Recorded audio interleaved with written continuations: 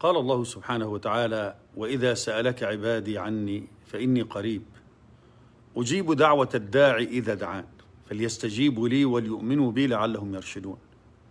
قالوا أن الدعاء ليس مشروط ليس هناك شرط. الله سبحانه وتعالى أمرنا بالدعاء ووعدنا كأمة محمد صلى الله عليه وسلم بالإجابة. بعض الآيات قال وبشر الذين آمنوا وعملوا الصالحات. هنا البشرى مشروطة بالإيمان والعمل الصالح. وقال فادعوا الله مخلصين له الدين مشروطة أيضا.